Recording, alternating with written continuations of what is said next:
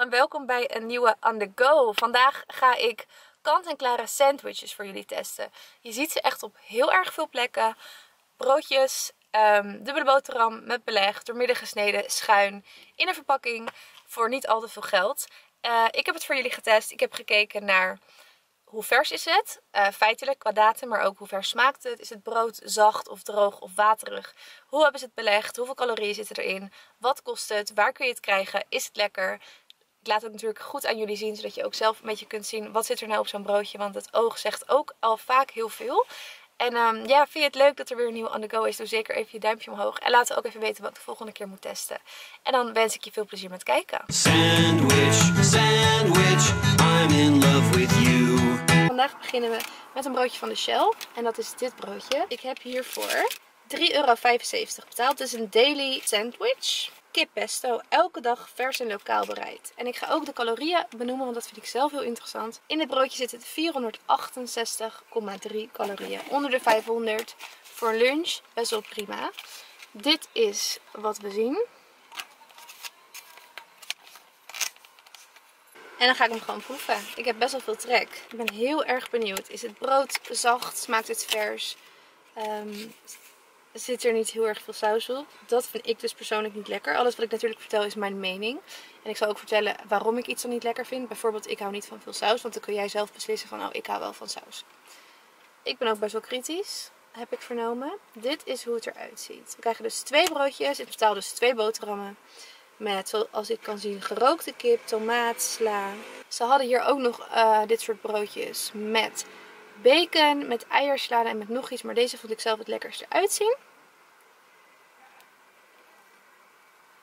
Het is een soort van pesto mayonaise, denk ik. Ik weet dat veel mensen dat wel heel erg lekker vinden. Ik ben niet zo van de hele romige sauzen. Maar wel heel erg van de kip. De tomaat ziet er best wel lekker uit. De kip ziet er lekker uit. Een soort van gekruide kip. En wat ik altijd jammer vind is dat de zijkanten geen beleg hebben. Dan denk ik altijd, als ik een broodje smeer, doe ik het echt goed op de zijkanten. Want dit gedeelte gaat allemaal droog zijn. Maar goed. Oké, ik had dus, dit heb ik dus nu gehapt. Best wel veel droog brood, een klein stukje kip, een beetje tomaat. Nog geen saus. Best wel weinig beleg. En toch vind ik het heel lekker smaken. De tomaat smaakt niet melig. Hij smaakt echt vers. De kip heeft een lekker kruidige smaak en is ook gewoon lekker. En het brood heeft hele lekkere pitjes erin, waar echt een smaakje aan zit. En het brood smaakt ook heel erg vers en zacht. Dit is 100% echt vandaag gemaakt. Dat kun je echt proeven. Ik vind hem heel erg lekker. Dit smaakte heerlijk. Die saus smaakt ontzettend lekker.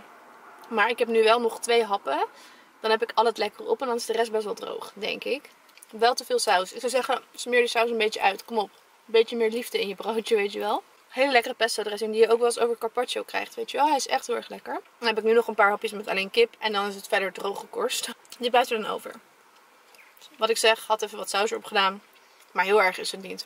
Korte review. Ik vond hem erg lekker. Het broodje smaakte vers. Het beleg smaakte vers. Goede hoeveelheid beleg. Lekkere saus. Calorieën prima. Echt lekker brood. Goed brood ook. Um, smeer de saus wat beter uit. En verder heb ik er serieus niks op aan te merken. Iets meer beleg langs de randjes. Maar heerlijk. Echt goed gekeurd.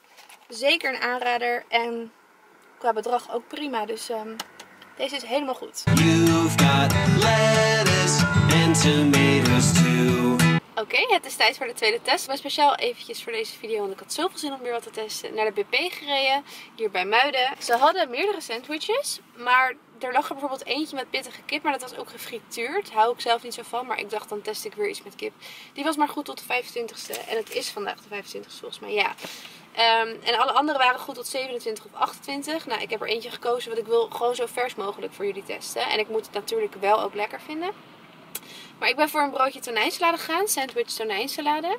En bij tonijnsalade moet ik wel in mijn achterhoofd houden dat het natuurlijk sowieso smeuig is. Dus dat het brood wat zachter kan worden. Daardoor het verser smaakt. Of juist een beetje nattig kan zijn. Daar kan ik allemaal rekening mee houden.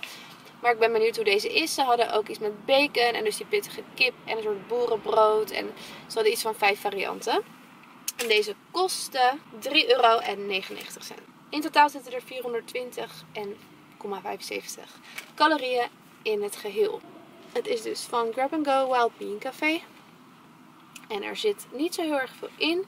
Wit sandwich, wit sandwich brood met 38% tonijnsalade, 6% zongedroogde tomaat en 6% rucola. Het ruikt lekker. Die vorige worden dus echt op de dag zelf gemaakt. En deze, ik denk dat deze misschien ook wel vandaag pas is gemaakt. Maar als je dus ziet dat ze best wel lang blijven liggen. Um, ja, stel je weet het niet. Stel er lagen alleen maar 25 september broodjes. En dan had ik gedacht van oké, die is vandaag gemaakt. Het is maar één dag goed. Maar hieraan kan je dus zien dat het uh, er gewoon langer ligt. Want tonijn of kip maakt niet zoveel uit qua datum volgens mij. Zo ziet het eruit. Er zit niet super veel beleg op. Vaak bij tonijnsalade krijg je toch best wel veel erop. Maar dat vind ik niet per se erg. Ik zie inderdaad wat rucola en zogedagde tomaat. En het is iets beter verdeeld dan bij dat vorige broodje. Brood is best wel dik en zacht. Het is echt wit brood. Dus niet met zaadjes of zo, maar het voelt heel erg zacht. En het voelt niet als van dat gewone casino brood. Het voelt wel iets steviger.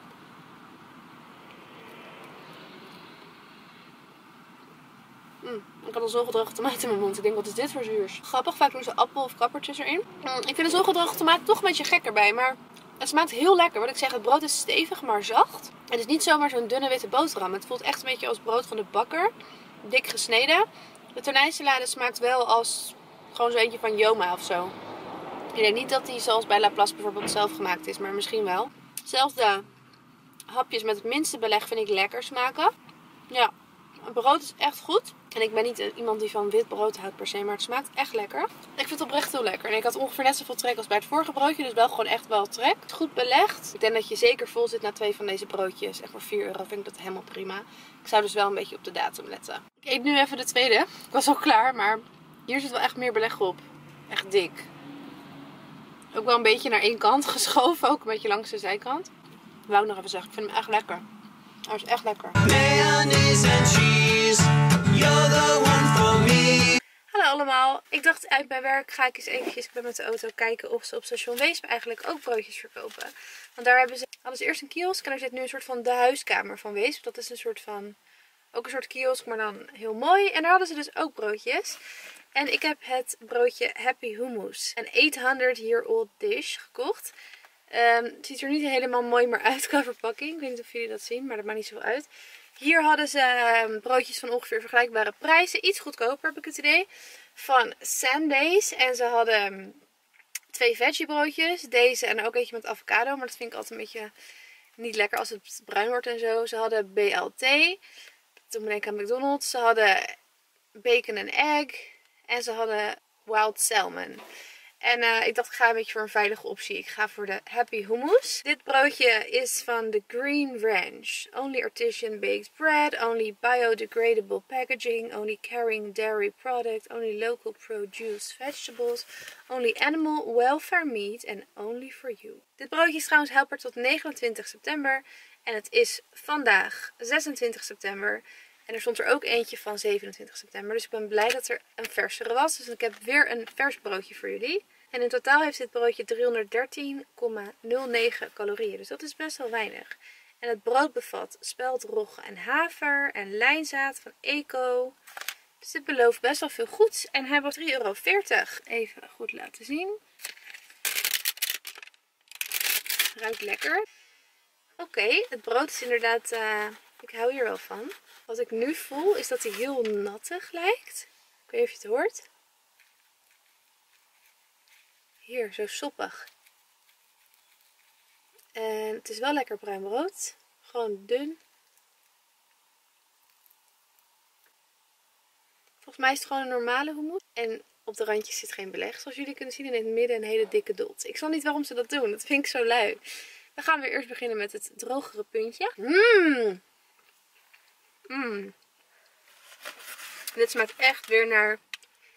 Oh, ik hou heel erg van zuur. Het is best een zure hummus, dus daar moet je wel van houden. Ik vind dat heel lekker, maar hij is echt best wel heel erg zuur. Hij smaakt echt naar die masa hummus. Er staat hummus van kikkererwten, raapolie, water, sesampasta, citroenzuur, zout, knoflook, conserveermiddel. En er zit een sweet spicy pepper juice op het broodje. Nou, die hummus is heel lekker. Er zit dus rucola op. Oh, mm, heel lekker dit broodje. Koriander. Waarom doen ze dat? Als, dan denk ik van, zoveel mensen lusten geen koriander. Dit is je vegan optie. Denk ik. In ieder geval veggie. Waarom doe je er dan koriander op? Want dan lusten heel veel mensen het misschien niet. Maar Ik vind deze heel lekker.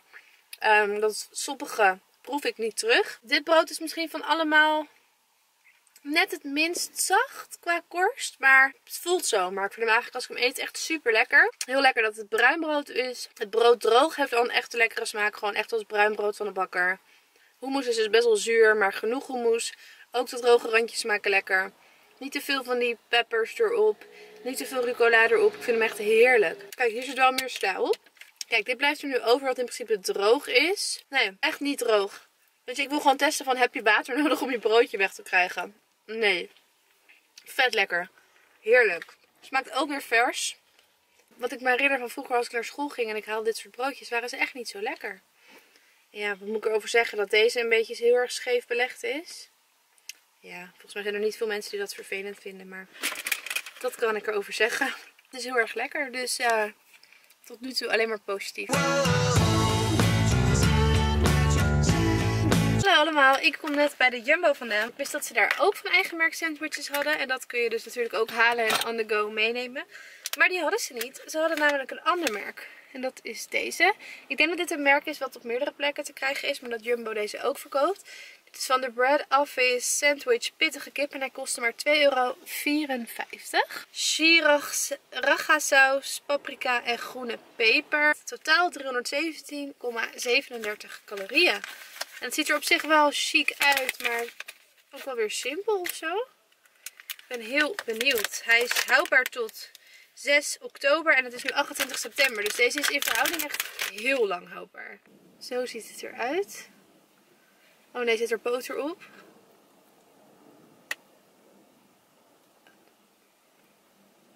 Als er boter op zit, word ik echt gillend gek. Dat, dat, oh, ik word helemaal misselijk af van de gedachte. Please, zeg maar dat er geen boter op zit, alsjeblieft. Er zit namelijk geen sausje op. Ja, als het, ik, ga dit, ik, kan, ik kan geen boter eten. Nee, dit is boter. Dit is 100% boter.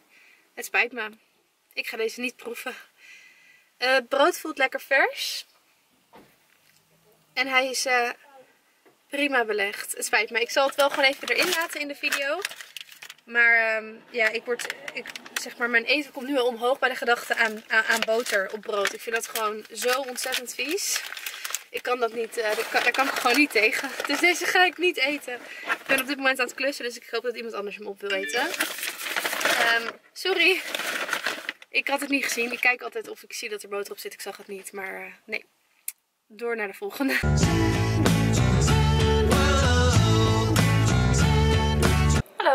Vandaag zit ik in mijn klaslokaal. Want ik heb gisteren een broodje gekocht bij de Texaco tankstation. En dat ga ik vandaag testen. Het broodje is houdbaar tot 7 oktober. En vandaag is het 3 oktober. En het is dit broodje broodje van The Bread Office. En volgens mij is het hetzelfde als wat ik dus laatst testte van Jumbo. Die dus echt niet totaal niet lekker was, denk ik. Toen ik hem kocht dacht ik, hé, hey, die had ik toch ook bij Jumbo. Met die boter erop, zeg maar. Dus ik ben vandaag maar voor een veilige optie gegaan. Namelijk weer een broodje tonijn. Ik dacht, die hebben we ook al eerder gehad. Dus dat is misschien wel leuk. Het is een sandwich met 41% MSC tonijn, 6% zongedroogde tomaat. En in alles, in totaal zitten er 418,8 calorieën in. Het lijkt een beetje hetzelfde, want uit mijn hoofd was dat andere brood toch ook dik wit brood van de BP. Volgens mij was het zo. Het ruikt ook heel lekker. Is het niet hetzelfde? Nee, het was een andere verpakking, maar misschien is het wel gewoon dezelfde bakker. Nee, het lijkt anders. Wow. Het is heel veel tonijn, niet zoveel mayo. Ik krijg het bijna niet los. Kijk. Je ziet zeg maar hier zout, maar hier zie je echt tonijnstuk en niet zozeer tonijnsalade. Vind ik best wel lekker. Hier dus een zolgerig tomaatje. Dat had die ander volgens mij ook. En hier wat mayonaise. Maar het lijkt niet gewoon een opgekwakte tonijnsalade. Het lijkt meer tonijn, een beetje mayo. Wel ook weer veel meer in het midden, maar dat heeft bijna alles. Het brood voelt hier heel zacht. De korstjes voelen een klein beetje droog en het voelt een beetje nattig. Maar ik heb hem natuurlijk nu dan gisteravond gekocht. Dus een paar uur later dan normaal. Maar dat zou niet veel moeten uitmaken. En dit was weer de verste datum. Ik vind die zolgedroogde maak is heel heftig erbij. Dat vond ik bij die vorige ook. Het brood is... Uh... Ja, hoe noem je dat? Het blijft heel erg kleven aan mijn tanden. Het is een beetje... Niet echt lekker fluffy brood, maar een beetje degerig, zeg maar. Als ik het inknijp ook, snap je? Beetje echt van het witte, ja. Ik vind het brood een echt een beetje alsof ik op een deegbal bijt. Het is wel oké. Zeker niet, niet lekker, maar ik probeer zo kritisch mogelijk te zijn. Nou, het korstje is echt wel een mini, niet droog of zo. Omdat het, het is gewoon heel, ja, het meest witte van het witte brood wat je kunt hebben. Maar het is echt een beetje nattig. Die ook hier is een klein beetje droger. Maar dan van binnen wel zacht. En dus wel een beetje fluffy en vochtig. Maar ja, ik vind het, ja, het brood gewoon echt heel degerig. Als ik kou heb ik in mijn mond zeg maar niet lekker brood, maar echt een deegbal. Snap je wat ik bedoel? Waarschijnlijk weet je wel, sommige brood heeft dat echt zo'n deegbal en sommige brood heeft dat niet. Dat is gewoon, ja, breekt gewoon in je mond en wordt geen bal. Dus dat, um, verder prima. Als ik um, daar bij het tankstation was en ik had heel veel trek, zou ik hem echt wel nog een keer halen. Maar ik zou er niet voor teruggaan of zo. Ik vind hem niet super. De tonijnsalade zelf vind ik wel lekker. Het is vooral het brood wat ik iets minder vind. Maar de salade is prima. Niet te veel saus. Um, prima hoeveelheid beleg. Gewoon prima. Niet bijzonder. Dus uh, nou, dat. Doei! Hallo allemaal, daar ben ik weer. Ik kom net van een evenement in Amsterdam en ik was op Centraal Station en daar heb ik een broodje gekocht. Ik ging naar de HEMA en ik kocht deze sandwich. Iets anders dan de andere qua verpakking. De rest was allemaal hetzelfde tot nu toe. Deze wat anders, maar het komt op hetzelfde neer. Het is de sandwich zalm. En deze is ook echt, het is vandaag 3 oktober. En hij is ook echt om, even kijken, 13 over 8 pas gemaakt. Het is nu een uurtje of kwart over 9, half 10. Dus ik, hij was echt net gemaakt toen ik daar kwam. Dus dat is natuurlijk wel al een pluspunt. Uh, daardoor zal hij waarschijnlijk ook lekker en verser smaken, logisch. Maar dat doen ze dus bij de Hema, dus dat is wel heel erg fijn. Dus alles wat er ligt is wel... Je hebt vers belegde broodjes, uh, maar dit is eigenlijk misschien ook vers beleg. Maar ja, dit zijn de sandwiches die je bij Hema kunt krijgen. Dit broodje kostte 3,25, dus dat valt reuze mee. Het enige wat jammer is, is dat er, dat is geen calorieën staan vermeld bij dit broodje. Het ziet er gewoon echt heel erg lekker uit. Ik vind het met zalm, ik ben ook niet voor de zalm gegaan, omdat ik dacht, ja, het is vers gemaakt, weet je wel. Uh, en de andere vond ik ook niet zo lekker. Ik krijg het in een bakje, super leuk. En dan is dit. Het ziet er goed belegd uit. Ik weet dat ik de broodjes van Hema altijd erg lekker vind, dus ik denk dat het lekker gaat worden, maar wie weet het nooit. Oh, het is wel echt wat kleiner. Het is wel 180 gram, maar als ik het zo zie, is het best wel klein, toch? Hm. Twee, ja, normaal casino formaatje. Wel dik brood. Voelt wel weer vochtig, net als die ik eigenlijk hiervoor had getest. En dit voelt een beetje zoals Turks brood achter het korstje. Maar het voelt wel zacht, maar wel een beetje vochtig dus. Oeh, er zit echt zalm. Er zit roomkaas, zalm, komkommer, zalm, roomkaas, ijsbergsla. Dus dit vind ik dan wel dat ik denk, oeh, echt een sandwich. Goed belegd. Hij is lekker. Komkommer is echt nu al een beetje slap. Ik denk, hoe dan? In zo'n korte tijd. Maar en de sla ook. Maar mijn eerste gedachte is echt lekker, maar niet. Hij is een uur geleden gemaakt. Het smaakt wel... Het is niet dat ik hem veel verser vind smaken dan die andere broodjes. Korst is vrij droog. Niet alsof ik in een restaurant zit van hier is je club sandwich zalm. Hij is net gemaakt. Hij smaakt wel iets ouder. Dit is wel heel droog. Maar de zalm is heel lekker. Hm. Een kommer klinkt nog wel crunchy. Heel weinig ijsbergsla, maar wat erop zit geeft wel echt een toevoeging voor de crunch en de smaak. De komkommer ook. Roomkaas hoeveelheid vind ik precies goed. Zalm is echt lekker veel, niet te veel. Ik vind de hoeveelheid wat erop zit heel lekker in de samenstelling. Ik vind hem wel echt eigenlijk heel lekker. Het beleg vind ik echt top. Hoe het samensmaakt en los van elkaar gewoon heel lekker beleg. Het brood is, weet je, dat vorige was echt zo'n kleverige bal. Dat is dit zeker niet, maar ik vind brood niet super lekker. Maar ergens vind ik het wel weer lekker dat het gewoon wit brood is. Want daar, dat vind ik gewoon lekkerder bij zalm. Daardoor komt de rest gewoon goed tot zijn recht. Het brood vind ik dan het minste. Ik kan niet zo goed uitleggen waarom. Het is gewoon niet super lekker brood of zo. Gewoon een beetje droog, een beetje vochtig ook. Ja, raar, maar een beetje droog brood wat een beetje vochtig is geworden. Um, er zitten ook best wel wat harde stukjes in dat brood. Maar het wordt maar het is echt heel hard. Dus door dat brood proef ik dat het een kant-en-klare sandwich zeg maar is. En dat ik hem niet zelf net heb belegd. Maar qua beleg vind ik hem echt ontzettend lekker. Um, heel chill in zo'n bakje. Uh, goede prijs, ja. Dus deze zou ik zeker wel nog een keer halen. En ik vind broodjes zalm die voorverpakt zijn altijd best lastig. Die zijn toch wel snel, dat het zalm een beetje heftig smaakt of zo. Zelfs bij die verse die ik ooit heb getest van Albert Heijn vond ik die zalm niet zo heel lekker. En hier vind ik hem echt wel heel lekker. Dus ik ben overal wel heel erg tevreden over deze. Nou, dus er staat dus op in donderdag 20 uur 13 uit zaterdag 20 uur 13. Dus tot dan kan je hem zeg maar eten neem ik aan.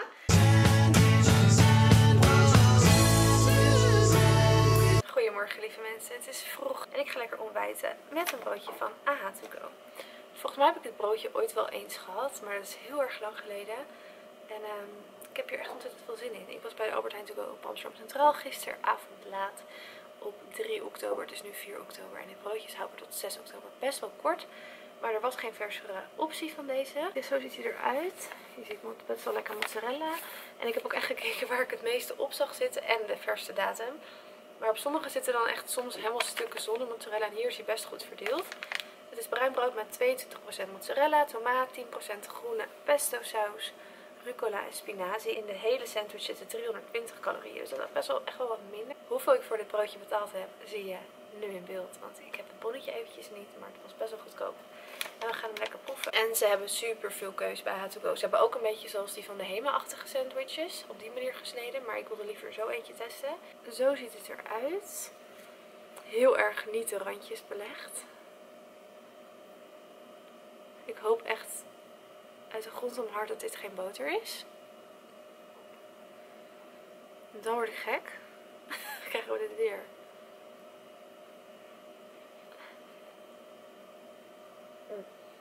Oh, wat erg. Het stond er niet op. Hier zit boter op. Mensen gaan nu echt waarschijnlijk denken, wat een aansteller. Maar ja, um, we gaan het broodje gewoon nog even bekijken. Ik ben morgen weer op Centraal, dus dan zal ik een ander broodje halen. Want ik weet dat niet op al het boter zit. Hier is wat spinazie, het is best wel nattig. Het ziet er niet super lekker uit of zo. En hieronder zit dus Kijk, hier heb je lekkere pesto saus. En dan zit hieronder ook nog boter. Dat ik echt denk, why? Ja, als ik boter op brood... Ik, uh, ik weet niet wat het precies is, maar ik kan er niet tegen. En ik krijg echt dat mijn eten komt omhoog. Ik heb daar gewoon een soort van trauma aan. Ik vind dat zo ontzettend vies. Dus ik ga dit niet eten. Ik ga graag of een collega deze wil hebben. En dan uh, zal ik bij jullie terugkomen met een ander broodje van Hatuko waar hopelijk geen boter op zit. Oké, hallo jongens. Het is vandaag 6 oktober. En dit broodje is ook echt maar heel erg kort houdbaar. Dit broodje is houdbaar tot 8 oktober. En ik heb hem gisteravond laat gekocht. Ik wilde dus nog een broodje van Albert Heijn testen. Omdat ik die vorige niet geproefd heb vanwege de boter. En ik ben al die broodjes gaan bekijken. En op alles zat letterlijk boter. Wat ik dus heel erg jammer vind. Maar ik denk dat op deze met tonijnsalade geen boter zit. Omdat iets smeerbaars. Daar doen ze hopelijk geen boter onder. Ik weet het niet. Per sandwich zitten er 325 calorieën in. Dit is hem. Het is een beetje donker, maar je kunt het wel zien. Brood met 27% tonijnsalade, augurk. Dat is wel lekker. Tomaat en fris esla. Fris esla. Geen idee. Het ruikt heel lekker. Dit is het broodje. Het brood voelt wel heel lekker. Echt gewoon als maisbrood van Albert Heijn. Het voelt vers en zacht. En helemaal niet soppig ook of zo, zoals sommige. En zo ziet het eruit. Is wel prima, niet te veel belegd. De sla is wel echt heel erg verlept. Maar dat maakt in principe niet uit. Ik heb het idee dat hier dus ook boter op zit. Ik snap dat echt niet jongens. Waarom? Ja, nou hier zit dus ook boter op. Ik ga gewoon deze helft happen. Weten dat er waarschijnlijk hieronder ook boter zit. Maar goed, hopelijk proef ik het niet door de tonijn slaan. Want anders heb ik weer een broodje voor niks. En ik wil ook die van Albert Heijn testen. Maar ik vind het wel echt teleurstellend.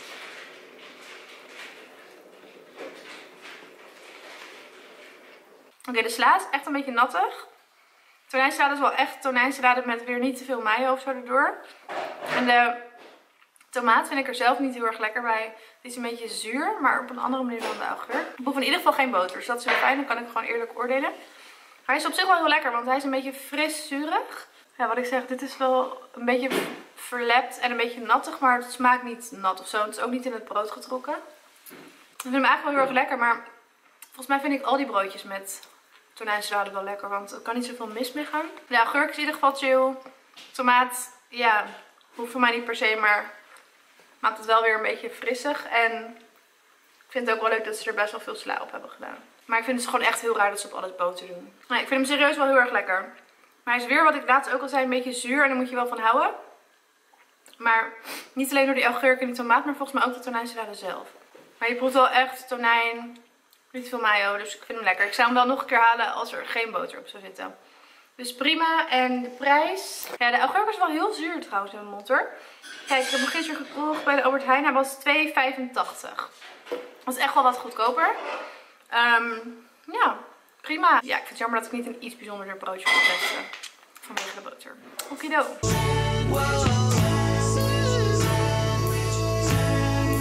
Hallo jongens, ik ben net bij de Starbucks geweest. Ik wilde zo graag een broodje van Starbucks testen, maar ze hadden steeds alleen avocado iets. En dat vind ik dus niet lekker, want het is bruin. En iets met bacon en zo. Maar ik ben nu bij echt vijf filialen geweest en nergens hebben ze iets anders. Dus ik ben maar gewoon voor het broodje gegaan. De BLT Bacon Lettuce Tomato. En ik heb er best wel zin in. Het lijkt me best wel een heel erg lekker broodje. Dit is hem. Hij kostte 4,25. Kijk. Ziet er vet lekker uit. En batterij is leeg. Dus ik ga hem thuis moeten testen. Onze populaire BLT sandwich met gegrilde bacon, frisse tomaten en knapperige sla. Ik heb trouwens vandaag gekocht. Het is nu 9 oktober en hij is houdbaar tot 12 oktober. Ziet er wel echt lekker uit. Kijk, best wel gezond ook. Kijk Bolly. Het is 200 gram dit.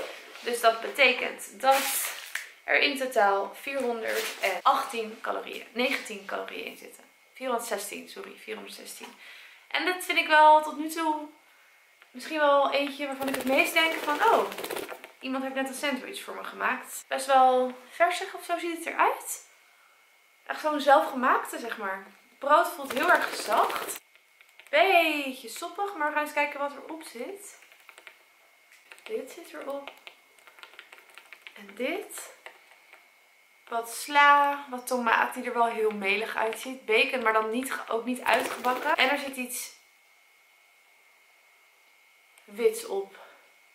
Volgens mij is het geen boter. Ik ga hem proeven. Het meeste dat ik denk van echt brood, zeg. Weet je wat ik bedoel? Dat je het zelf ook zou kunnen maken. Goed verdeeld ook, zeg maar. Het brood is een beetje droog wel. We voelt het niet, maar het is oké, het is oké. Ik vind hem echt anders dan de andere broodjes. Het is echt wel uh, heel erg lekker. Ja.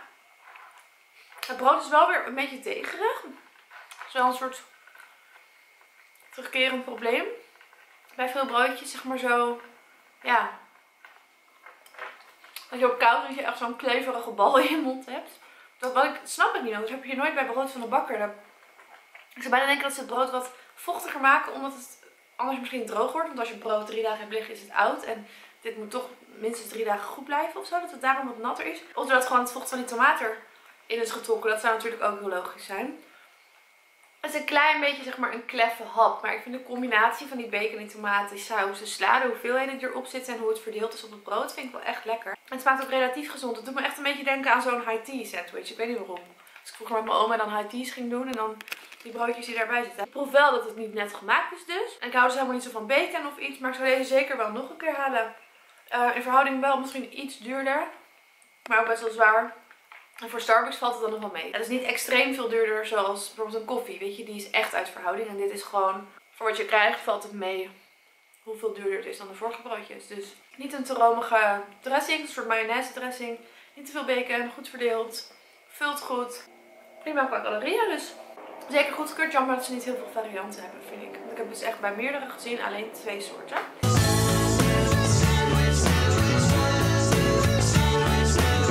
Was dit de video. Ik hoop dat je er wat aan hebt gehad. Laat zeker even weten naar welk broodje je benieuwd bent geworden. Of je zelf al eens iets hebt getest wat ik in deze video niet heb laten zien. Tips of juist welke broodjes niet lekker waren. En laat dus vooral even weten wat ik de volgende keer moet gaan testen. Heel erg bedankt voor het kijken. Doe even je duimpje omhoog als je het leuk vond. En dan zie ik jullie graag weer bij een nieuwe video op mijn kanaal. Doei!